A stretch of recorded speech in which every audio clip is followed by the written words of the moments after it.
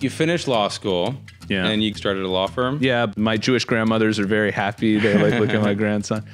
But it just it wasn't what I wanted to Yeah. do at all. And it was actually my wife who was like, Your dad's always inventing weird shit in the garage. Like maybe that's the one. It's like, oh, I have a prototype. And so he shows me how with this one piece of hardware, he can detect even like a drop of water a minute happening on the opposite side of the house. Sure. And now we have the leading product in the space, which is which is great. Ultimately, you get a big investment from Moen. Yeah. In your mind, did you have like a number that you needed personally to get out of this acquisition for you to feel good about it? Yeah. I, I'm I mean I did. How many different people, including our Persian friends, have asked you the question? Oh my God. Yeah. What's the appropriate way to ask the because that's So I actually can't share it. he's pretending to have the confidentiality clause. We're gonna let him be. Maybe you want to be invisible. I don't know. You You are can- rich now. You can so email it's me good at to be. it's Sam Brown. There you go again. Law flip, law flip, objection, your honor. Turn the, turn the game upside down. Law flip, law flip, objection, your honor. Turn the, turn the game upside down. Welcome to Law Flip. It's a conversation about law, life, water leak detection, and everything in between. So I'm Benjy Smith. And if you want to learn how to build a company, scale it, and get acquired, this is the episode for you. So my house, two different times, two different times, have had major water leaks, causing hundreds of thousands of dollars of damage and untold amounts of emotional pain. And this person right here, he came up with the solution to that pain point. He took the pain point of water damage and came up with a brilliant solution, scaled the company, and got it acquired.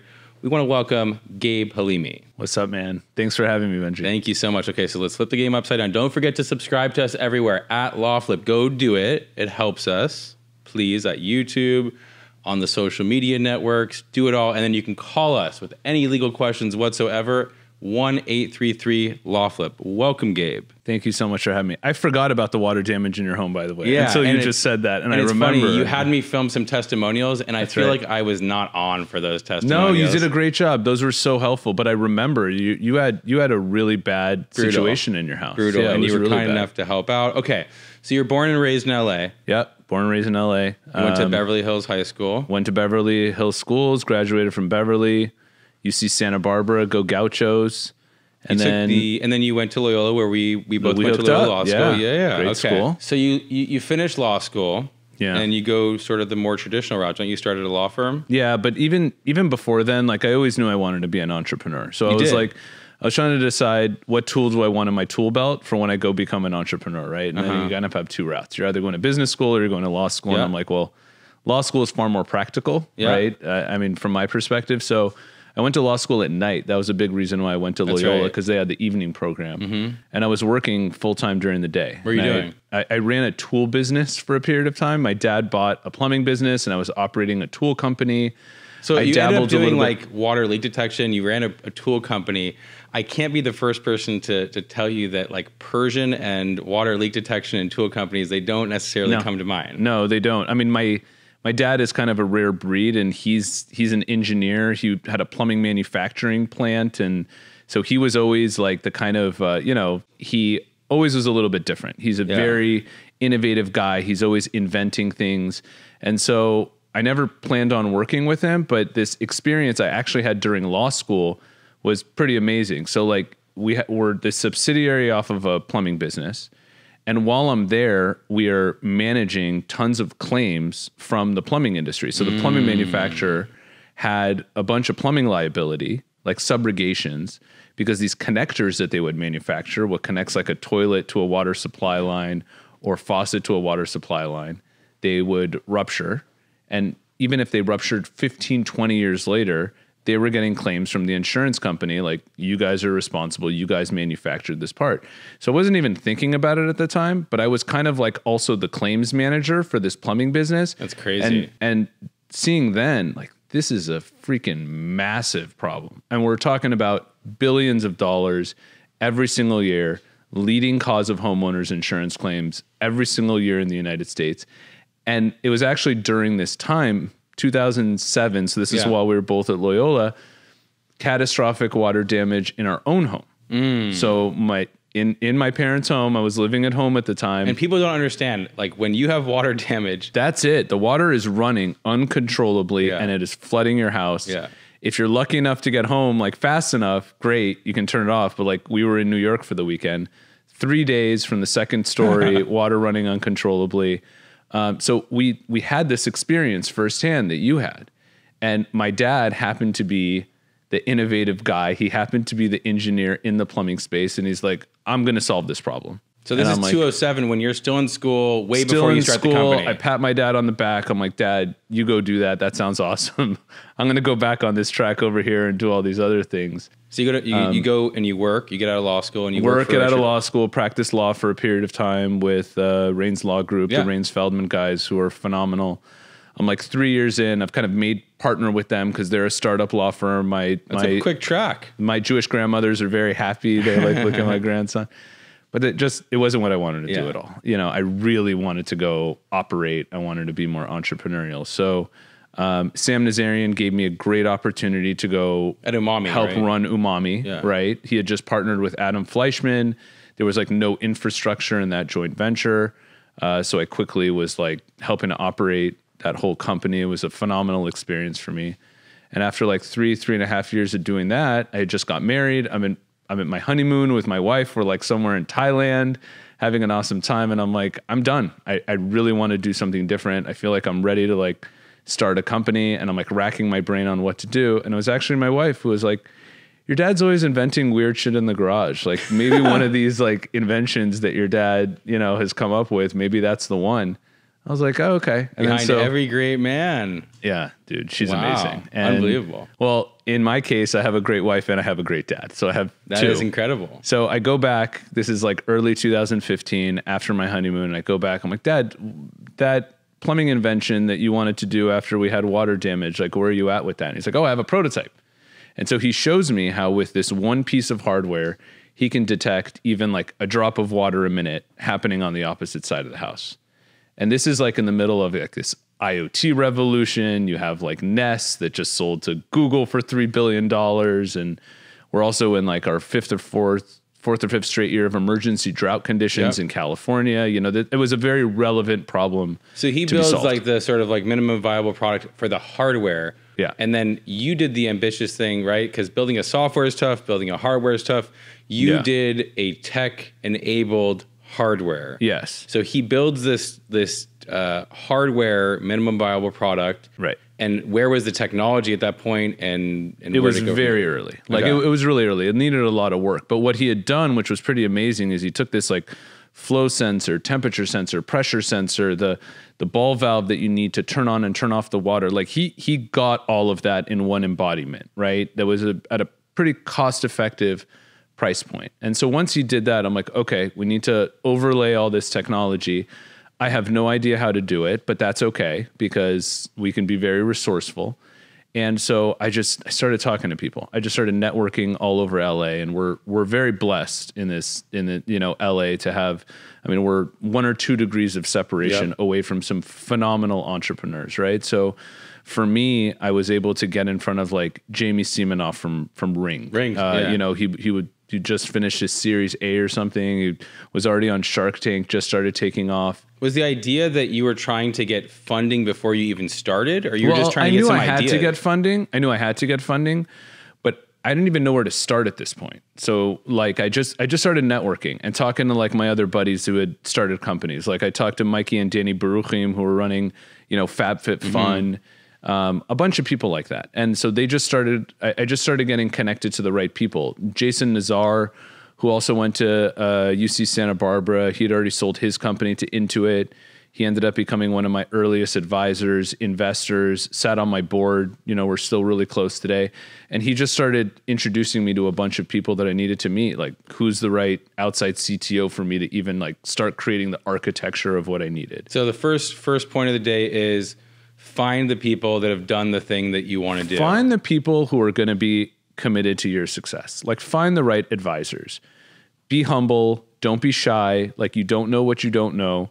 And like for the for the entrepreneurs that pretend like they know they know it all and they have a plan, like there's no plan when you're first starting out. Your plan is going to change daily. You're going to keep pivoting and iterating. But like finding the people that have kind of like been there, done that to some extent. And there's and there may be no one that's perfect. Like Jamie was perfect from like a smart home perspective, like how to navigate those waters and help build the kind of user experience that people wanted and whatnot. Jason had just done the early stage startup thing. I got a couple of guys on the plumbing side who knew how to build like the plumbing product and what kind of certifications we need and whatnot. So like I just quickly created my own little board of advisors. And w- were you having to give out pieces of the company at that point, or is literally just like be, people being good people and helping you out? I was frugal, all right? Like, so a lot of times people were just kind of helping me out. But when I found the right people that I really needed committed, like, I knew I needed to sit down with these people ongoing, weekly, bi weekly, even monthly, and I really needed them committed. What I did was I gave them equity, right? And I wanted to make sure it was something meaning like if they were the right person, I wanted to make sure it was something meaningful for them, that it moved the needle that they felt like they were also committed to my success. And there were a ton of people who were just friends that I would just pick up the phone and call once every few months. And for those guys, they were happy just to have a conversation and give me some advice. But find those people, like find your Jamie, find your Jason, Yeah. find the people who are really going to be committed to your success and just don't let them go. Like let them, you know what I mean? Like incentivize them in your growth. Okay, working with your dad. That's a tough thing. I work with my dad. Um, how how do you do that successfully? the most important thing that we did was we divided up where our responsibilities were going to lie and and who was going to run the thing. Like we decided it was it, it wasn't easy. We decided that like I was going to be the CEO and I was going to make the day-to-day decisions. I was going to run the business. But my dad was essentially like the chief, you know, engineer of the company. Yeah. He was like the CTO. Like I didn't question his decisions. Like he kind of had final say from like an engineering standpoint, right? So I brought on the right advisors, but he would kind of stress test and I would try to move it in the right direction. But ultimately, like the engineering side was kind of his. And then he was also the chairman of the board. So we would mm. joke around that like the one decision that he could make as the chairman is whether or not to fire me. he great. didn't. So that was good. But like, I I mean, we had to divide up Yeah. our roles or else we would just be butting heads. We're like way too much alike. So So you're able uh, clearly you're able to successfully do that. Okay, so then yeah, I mean, we had a bunch of blowups along of the course, way, but yeah, I of mean, course. it worked. We talked about funding, getting funding, figuring out funding, when to take it, when not to take it. What was your experience and what's your advice on just the concept of funding? it's a little chicken or the egg. Like just on the way over here, you saw me in the street, uh, like Yeah. like in the car talking. I was giving advice to another startup. Like, first of all, as the CEO, you're the chief storyteller. You're telling your story of your company constantly. Like you're weaving together your story, the problem space, and why you're the one to solve whatever problem it is that you're coming to the market to. Right. Um, and then it's a little chicken or egg between like, well, when do I fundraise? I need to fundraise so I can hire the people. And then a lot of times the VCs will tell you, well, who's going to execute on this? You need the people before you can get the money, right?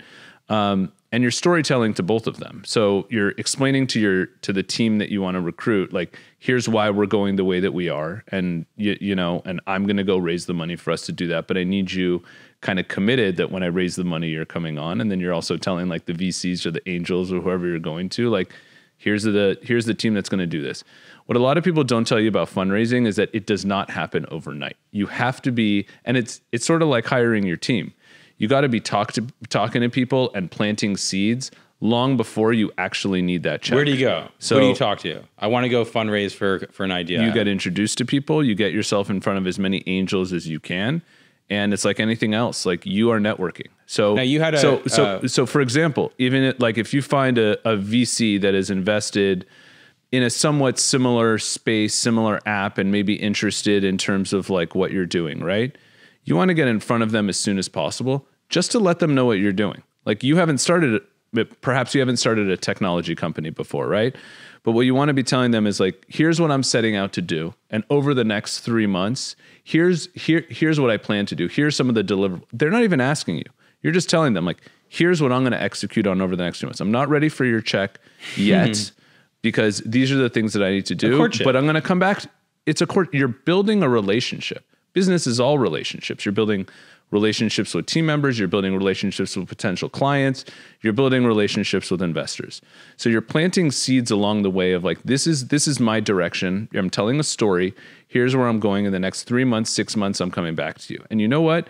Every check in you do with that investor you know, they're kind of taking note like, oh, yeah, this guy said he was going to do this and he's actually doing it. All right, mm. he's actually building some momentum. You don't just show up at someone's door who doesn't know you and say, you know, give me money. This is what I'm doing. You had a thing where you kind of had a, probably a patented type product, Mm-hmm. so you probably didn't have to worry at all about people knocking it off, or maybe you did. That's not true. That's Yeah, not true. Okay, there we go. Yeah. Bad assumption, as they Yeah. say in law, Yeah. that lacks foundation. Having IP is great. I mean, investors are very interested to know that you have some kind of IP, but even even, you know, as an attorney, you're an attorney too, like trying to prosecute, you know, intellectual property claims Very tough. extremely difficult. So what you're actually getting when you have IP is you have some level of comfort Right. that another person is not already doing what you're doing. Right. Right. Like that's great. Having some kind of like a shield that if someone comes after you, you're like, hey, what, it- like what I did here is defensible. Yeah. Because I have my own IP. I've had other entrepreneurs, lawyers tell me,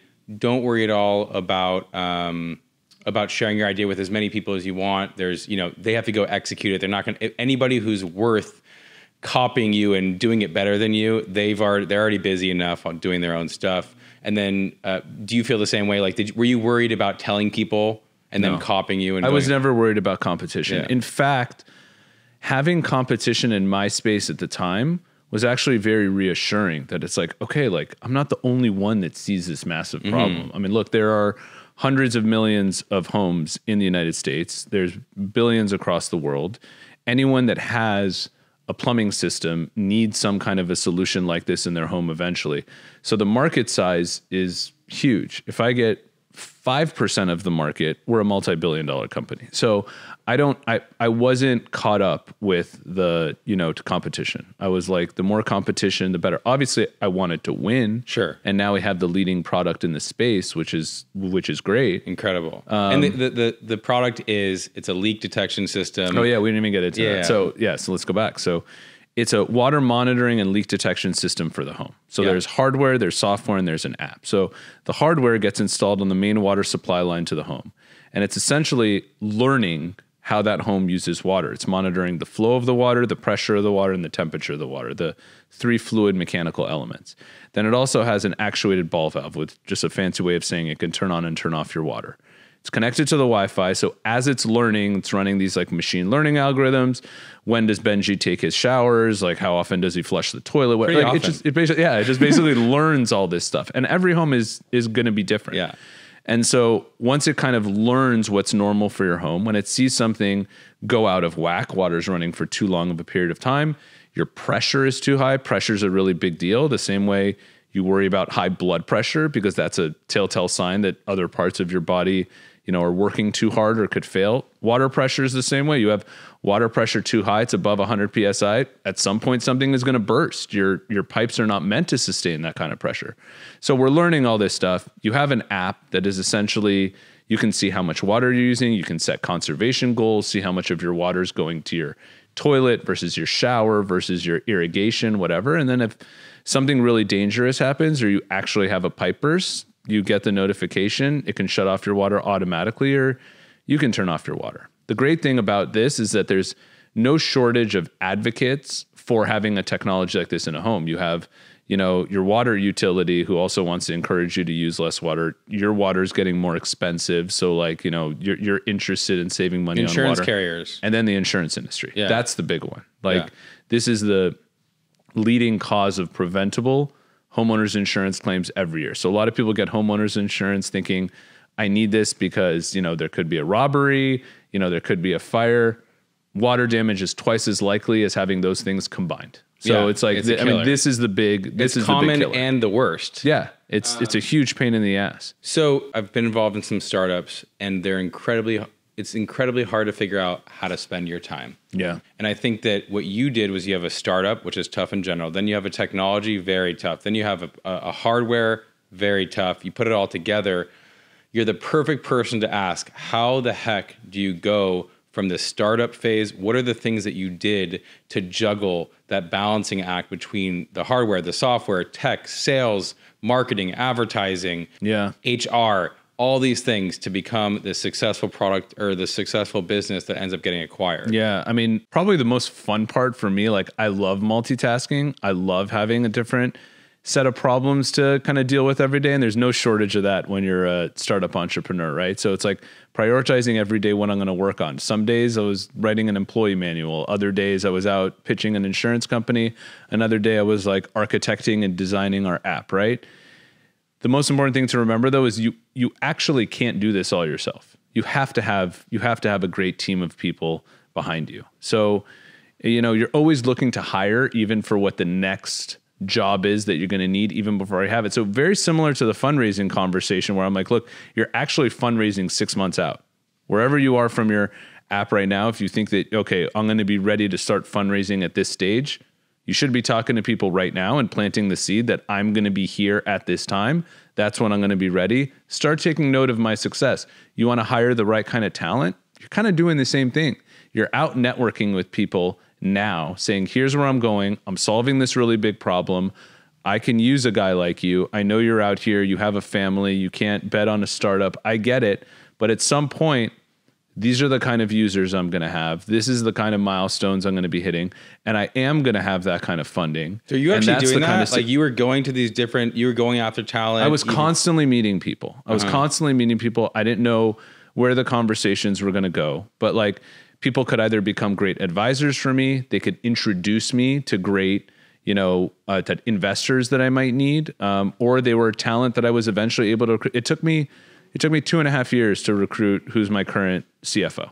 Wow. Like on the side, he was moonlighting for me, helping to do some of my initial modeling that I put in front of my seed investors. Again, he helped me with my Series A when I was like doing all the financing, you know, and stuff for that. By the time the Series B rolled around, he he he finally came on board. And I'm assuming that when you did all these rounds and ultimately get get acquired, you're leaning on all these advisors because you don't know what. I mean, you, you're you're a smart dude. You went to law school, but like to have that to carry that weight that Yeah. like you could make the wrong decision. Listen, you got to follow your instincts too. I mean, there's no silver bullet. There Sure. not necessarily like a right answer. Like if someone had done this before and it was easy, they would have already done it. You know what I mean? So no one knows your business as an entrepreneur better than you do. However, you know, you want to collect facts. You want to collect facts and you want to make good decisions. And so sometimes that advice would come from my investors who were who were like my, you know, advisors. They might as well have been. Like that's why I chose some of the investors that I chose or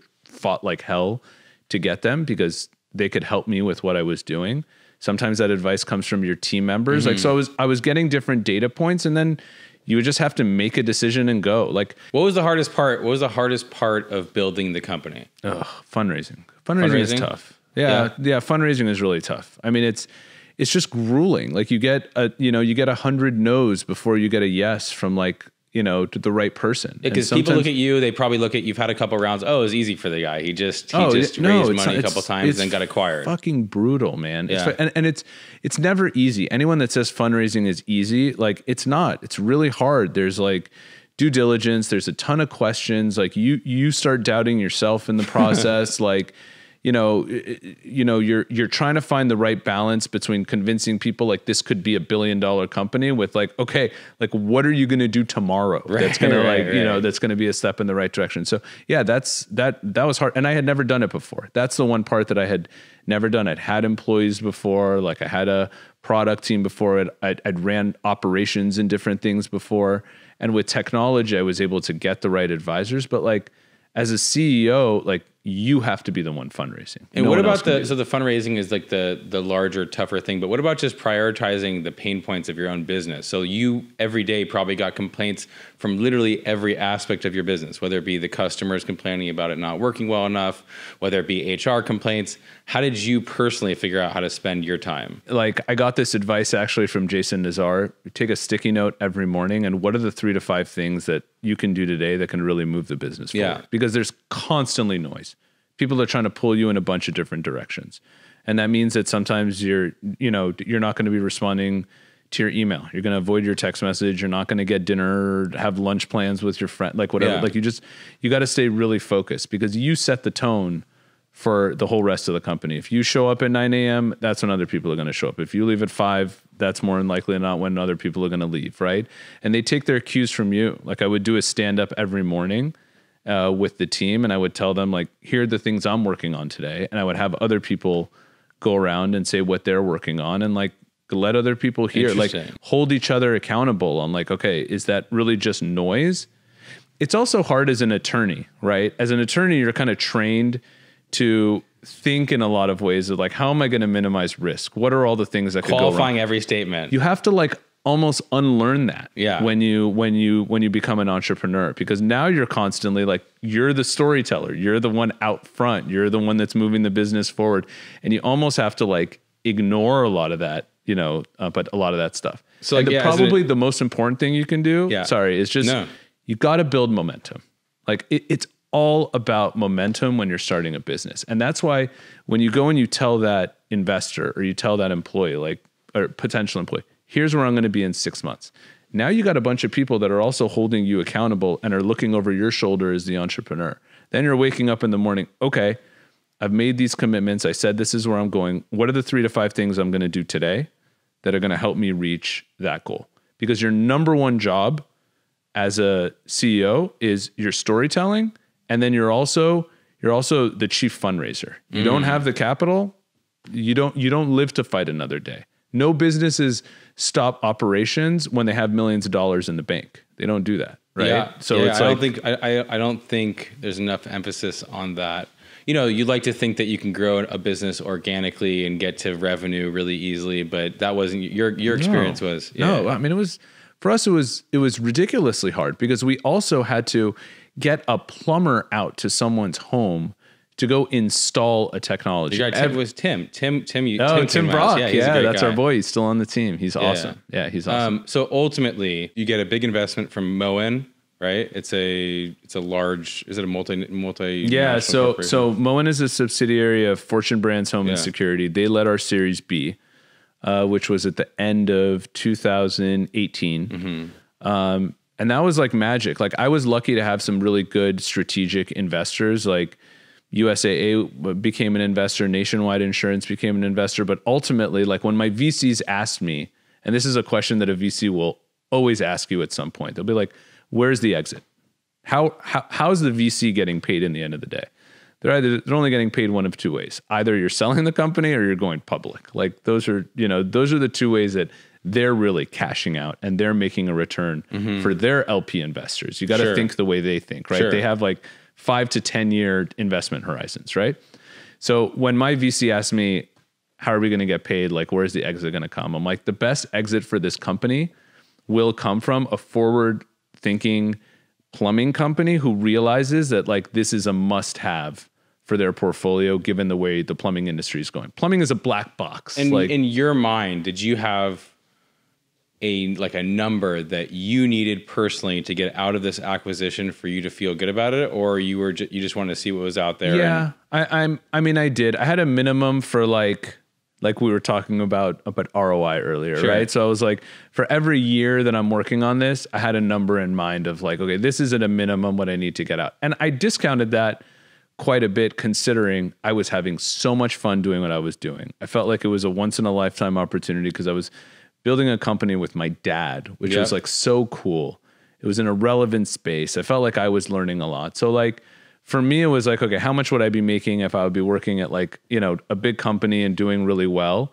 And like that was how much I was thinking like okay, I needed to make this a year. Obviously like I many- I did better than that, so that was great. How many how many different people, including our Persian friends, have asked you the question? oh my god. Yeah. Is there is there is there any that haven't asked you the question? No, yeah, there are there, there are some that haven't What's the what's the, question. appropriate way to ask the because that's I mean it's it's it's a I actually. I so, so I actually can't share it because it's like you know this is a public company that But you acquired know, since business. I have like, per, even though I'm not truly Persian, even I kind of you might like, as well be. You so, might like, well. I, had know the crowd you run I, with. I don't think my Persian friends would have been okay if we got Had through this without at least like broaching the topic. So I did my thing. You guys Yeah, saw it. you guys saw I it. You asked the accomplished what I question. Benjy did do. what he needed to do. He's pretending to have the confidentiality clause. We're going to let him be. And now, finally, tell the people the the toughest parts about your journey. Yeah. I mean, being an entrepreneur is very lonely. It is. It's really hard because all of that weight is on your shoulders. You know, by that point, you maybe have employees, you know, you're processing payroll, the money's going down, you're trying to keep up. Um, you you just you just got to believe man you got to believe and you got to have the right support network like you need a You need a partner, whether it's a partner in your business, you know, your your your your spouse, like you need people that you can lean on and you need to know when you need to take a break because it never that, that your your responsibilities and the stuff on your to-do list will never be over. It will never be over. There were oh, there's an unlimited number of things that you can do to move your business forward. So one of the most important things to do is like you got to know when you just got to take a break. Like you you got to know when you need to check out and you definitely have to do that as That's an hard to do. It's You hard to do. How'd you do But it? But you have to. Um, look, I I also like having a family actually really helped Forces because there you. were times that like I'm not going to I'm not going to not take a vacation with my wife and kids. Yeah. Like that's you know, I have to do that. Um keeping keeping a date night with my wife, you know what I mean? Having at least like once a month that I would like get together with a certain group of friends like you know something that like just keeps you grounded outside of what you're you're doing and reminds you that like life life still goes on right and so you gotta you gotta do things that are gonna help you find that balance because you will burn out in the business, what was the toughest? I know you said fundraising was really hard, but in the day to day grind, what were the things that you just like dreaded? I mean, look, I hated sitting in meet. Like I would sit around and when we have like a big meeting and there are 10 people sitting in a room, I'm just thinking of how like the productivity is just plummeting because 10 people in a room. because because there's going to be five or six people that are just sitting there because they feel like they need to be there or whatever like I, I just I'm I'm a I'm I'm a hawk for productivity. I'm a hawk for like efficiencies, right? And so um I, I don't know if that was the worst thing, but that's just something that would just, you know, annoy the shit out how of did, me. how did you optimize productivity? Keep groups small and like delegate on the decision making. Like empower people who know whatever they're doing the best to just run with it. Like What did it take to get, what did it take to get your confidence? Because you have high expectations, Yeah, right? yeah. For me, like one of the things that I struggle with is like when I'm in meetings with people and they don't ask questions, Yeah. they just like listen. Yeah. and you're like, yeah. you're completely no, like, out. are you listening? Like, you know, quiz them. Yeah. You know, Socratic method, like fucking law school. Like, no, seriously, just like make sure people are listening to you and like make make your make your definition of what success looks like. Make those metrics very clear, and always have a follow up kind of coming out of the meeting. Right? It's like, okay, this is done by Thursday. Kind of here's here's what I'm looking for. Here's how I'm defining success. Are there any questions? And then you're holding keep people accountable. Trust but verify right? Yeah. like you, you know so i would i would welcome people running. Like i welcome strong leaders who wanted to make a name for themselves. Like uh, that was another thing with my team members.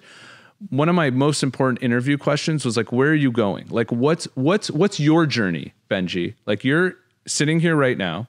If we work together you will have come from one place. I will have come from another place. And for some period of time we will be on a journey together. And then after that, you're going to go one way and I'm going to go one way. The mm. days of like us working in the same company for 25 years and getting a retirement watch and we're like, it's over. That's wow, how you it works. that right? that's an interesting so, approach. No, so I, I- I would ask people, I'm like, okay, like if you come work here for three to five years, whatever, that's like best case scenario, right? Awesome.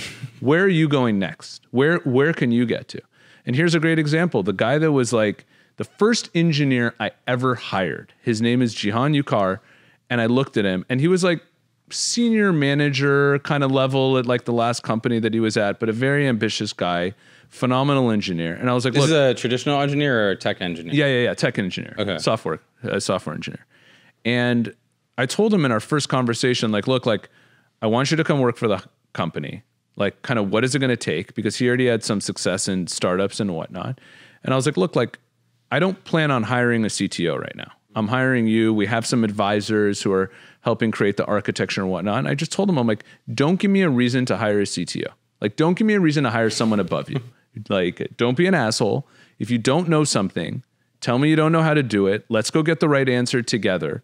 But I will keep investing in your growth because he made very clear to me, like, he wanted to eventually start his own company. He definitely wanted to be a CTO. That's where he felt like he was going. And I'm like, look, stick with me and i'm absolutely committed to you getting there and Wow. he he left the company over the summer after we were acquired no hard feelings. There wasn't the right place for him within the fortune brand structure after we got acquired.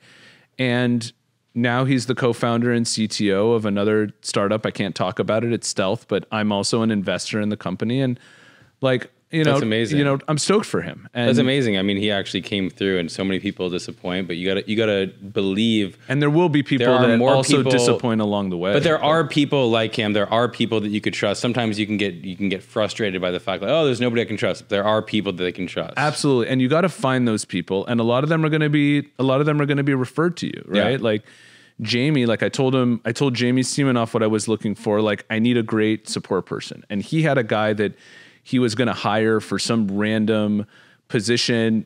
Didn't know if it was a great fit, but he just loved this guy. And he's like, you know what? He's going to do, there's so much more upside for him. Like, he was committed to his growth. His name is Vince Santos, still works for me. Oh, I've seen He's him copied head- on emails. Vince. Oh yeah, Yeah, no, you you you definitely met Vince. so like Vince joined as our head of support and he never gave me a reason to hire anyone. I think he's hired more people into the company than anyone. That's he's a incredible. phenomenal human being.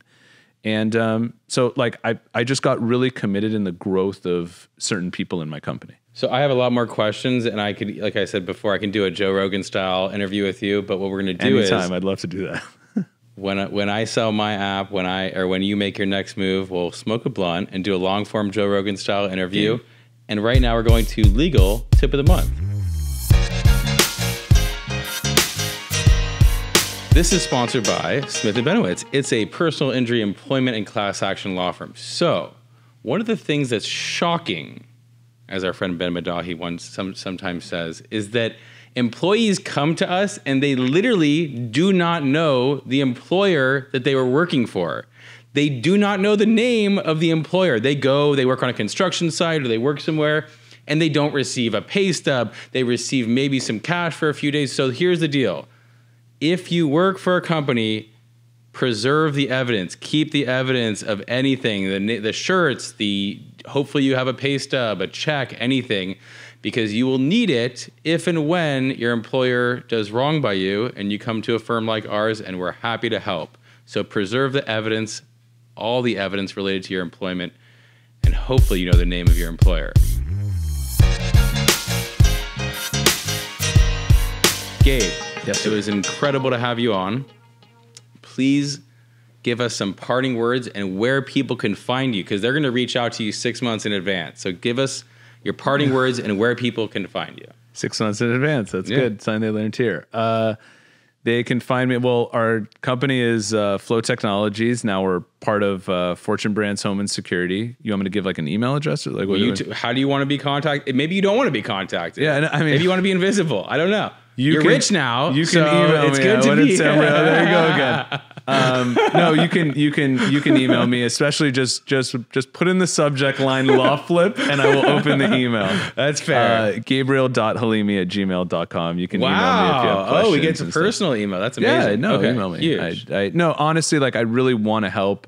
I believe in networks. I believe in you know you got to have the right resources and the right advisors if you're going to start a company. And I've been I've really been blessed with so many good people that have helped me along the way, and I'm I'm I'm happy to try to pay that forward if I can. Amazing. Thank you so much, man. Hey, thank you, brother. Law flip, law flip, objection, your honor. Turn, turn the game upside down. Law flip, law flip, objection, your honor. Turn the, turn the game upside down. Connect with us on Instagram. We're at LawFlip. If you have any legal issues, connect with us at Smith Benowitz or smithbenowitz.com. LawFlip is produced by Blue Crescent Media. You can learn more about BCM at bluecrescentmedia.com. Our intro music is provided by Penn Practice, and our LawFlip identity was created by Garrett Whiston and Travis Nagel. And lastly, this podcast is made available by Smith & Benowitz for educational and entertainment purposes only. By listening to this podcast, you understand that no attorney-client relationship is being formed between you and Smith & Benowitz or any of its attorneys. This podcast should not be used as a substitute for competent legal advice from a licensed professional attorney in your state. To the extent this podcast may be considered an advertisement, Benjamin Smith is the attorney responsible for this advertisement. Thank you.